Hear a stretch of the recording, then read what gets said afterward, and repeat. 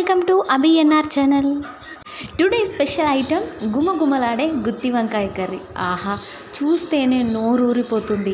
ఎప్పుడెప్పుడు తినాలా అని ఆతృత పెరుగుతుంది. ఇది చాలా తక్కువ టైంలో చాలా సింపుల్గా ఎలా చేసుకోవాలో చూసేద్దామా మరి?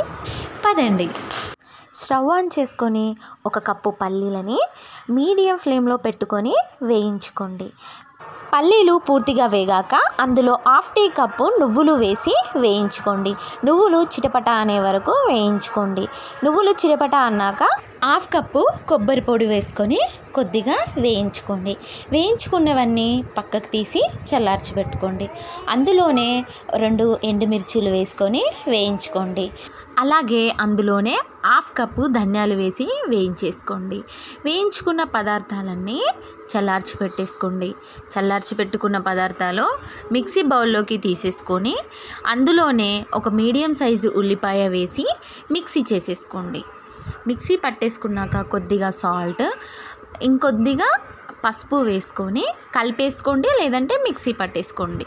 ఇప్పుడు లేతగా ఉన్న వంకాయలని తీసుకొని బాగా వాష్ చేసుకొని ఇలా నాలుగు చారలుగా కట్ చేసుకోండి.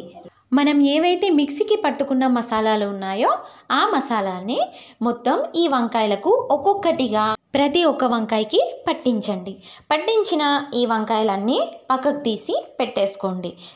ఇప్పుడు స్టవ్ ఆన్ చేసుకొని కడాయి పెట్టేసి అందులో three and half tablespoon వరకు ఆయిల్ వేసి హీట్ ఎక్కాక మనం ఏవైతే మసాలాలు పట్టించిన వంకాయలు ఉన్నాయో అవన్నీ ఒక్కొక్కటిగా ఆయిల్లో వేసేసుకోండి.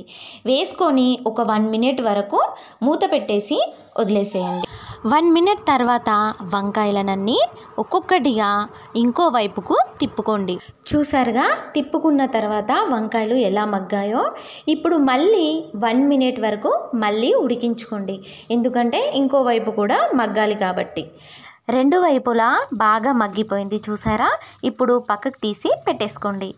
ఇప్పుడు స్టవ్ ఆన్ చేసుకొని వేరే కడాయిలో టూ టేబుల్ స్పూన్ వరకు ఆయిల్ వేసి హీట్ ఎక్కాక ఉల్లిపాయ తరుగు వేయండి. నేను ఇక్కడ స్మాల్ సైజ్ ఉల్లిపాయ మాత్రమే తీసుకున్నాను. అందులో రెండు బిర్యానీ ఆకులు రెండు దాల్చిన చెక్క వీలైతే రెండు లవంగాలు వేసి కూడా వేయించుకోండి. ఉల్లిపాయలు గోల్డెన్ బ్రౌన్ కలర్ వచ్చే వరకు వేయించుకోండి. గోల్డెన్ బ్రౌన్ కలర్ వచ్చాక అందులో ఒక రెబ్బ కరివేపాకు వేసుకొని ఆ తర్వాత చిటికడి పసుపు కూడా వేసి వేయించుకోండి. అందులో మిక్సీ పట్టిన పేస్ట్ ఏదైతే ఉందో అది ఆయిల్లో వేసేసుకోండి. వేసుకొని ఫ్రై చేయండి. ఆయిల్లో మసాలా కొద్దిగా ఫ్రై అయ్యాక అందులో టూ టేబుల్ స్పూన్ అల్లం వెల్లుల్లి పేస్ట్ వేసి కొద్దిగా ఫ్రై చేయండి.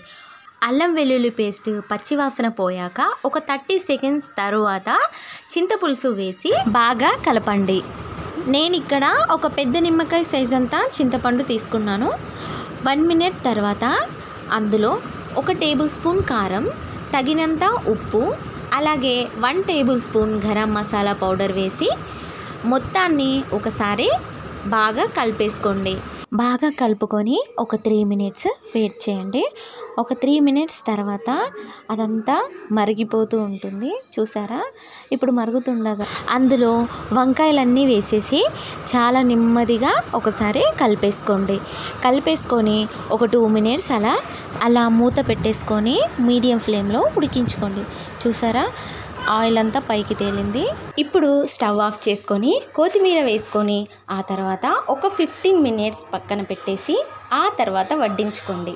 చాలా బాగుంటుంది. గ్రేవీ దగ్గరికి వచ్చి చిక్కబడుతుంది. చూసారుగా?